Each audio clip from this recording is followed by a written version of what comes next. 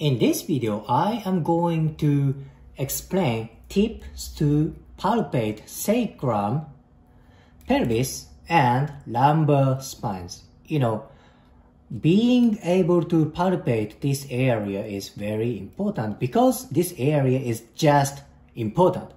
That's fair enough, right? So let me explain tips to palpate sacrum.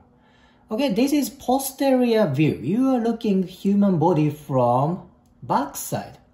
From posterior view, sacrum looks very flat like this, right? Especially when you open up anatomy book, it looks very flat, but it's not. It's three-dimensional structure. Inferior part of sacrum is superficial, more shallow. Middle part is kind of intermediate. Superior part is very, very deep. That means it's easy to palpate lower part and middle part. But upper part, you need to go to deeper, okay? So let's look at from posterior view and a little bit profile view. Do you see that? See, this is very deep. Superior part is very deep. Middle part, intermediate. Inferior part is very, very superficial. Plus, there is erector spinae and multifidus around superior part.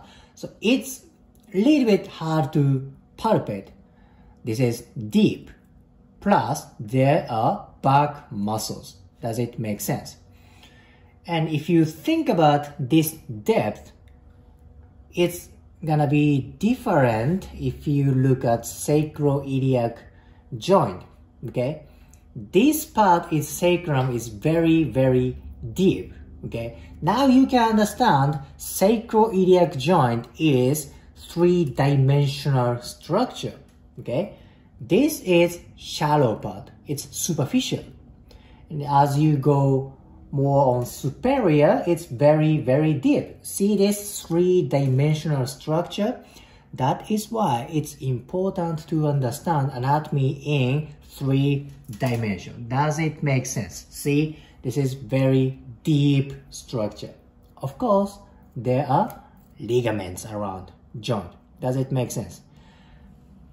So next one is this one, coccyx. This is coccyx. Coccyx is below sacrum. Uh, this coccyx is very flat. It's still a little bit curvy, but for some people, coccyx oftentimes tuck into this way. Does it make sense? Especially when people have had injury on coccyx. Their coccyx tend to go tucking in like this. That is why it's sometimes hard to palpate coccyx. This is very healthy coccyx, I say, but some people's coccyx goes like this.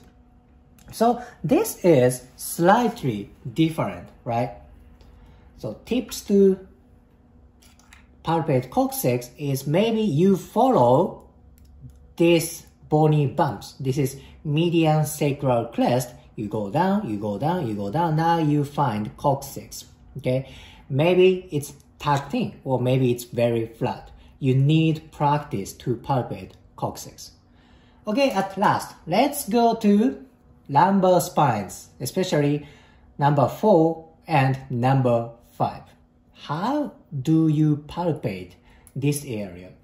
Okay, there's very famous criteria. You need to find this area of pelvis. This is iliac crest. You find the most superior part of iliac crest at level of this iliac crest, you are on L4. Iliac crest, most superior part, now you are on L4. Okay, how about L5? L5 is about level of this big bony bump. This is PSIS, posterior superior iliac spine. Okay, about level of PSIS, but not the most inferior part. It's about middle part of PSIS. If you go too inferior, you are not on L5, you are on sacrum. Okay, just middle part of PSIS. Okay, most superior part of ilium, iliac crest, you are on L4. But middle part of PSIS, you are on L5. Okay, I hope this video helps you understanding of the relationship of sacrum, coccyx, and lumbar spine. If you liked today's video, please hit the like button, comment, and subscribe. See you next video.